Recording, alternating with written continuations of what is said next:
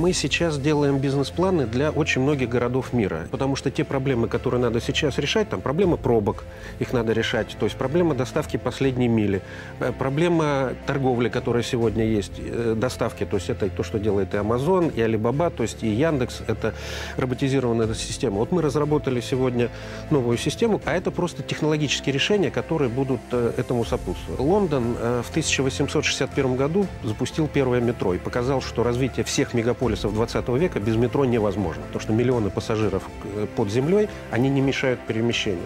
Значит, соответственно, мы сегодня делаем такой же концепт, который позволит сделать не метро, а микрометро. То есть, когда тротуары, и под тротуарами есть микрометро, микротрубы, по которым роботы-доставщики все развозят, вывозят мусор, утилизируют. И 75% перевозок, которые сегодня идут в городе, вы просто их не увидите.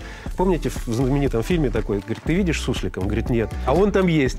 Почему суслики? Потому что наши эти роботы называются кибергоферы, то есть суслики. Они бегут в тоннелях. Так вот, они будут перевозить 75% всех грузов в городе. А вы их не будете видеть. То есть 75% машин, которые сегодня ездят и что-то возят, они уйдут.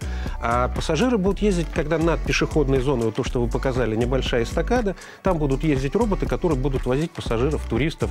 И вы на ходу в этой кабине можете получать пиццу, которую вы заказали, или там бутылку кваса, которую на ходу этот робот вам привезет и, соответственно, передаст. Это новый вид туризма, это новый вид коммуникации, это новый вид переезда. А вот когда мы оформим это юнетом, когда вы будете в ней жить и перемещаться в этой же капсуле в Париж, то это будет вообще новое качество. Но я вам могу сказать, это намного больше, чем просто электромобиль, это новый концепт. То есть вот эта капсула, которая на мобильной платформе, она многофункциональна.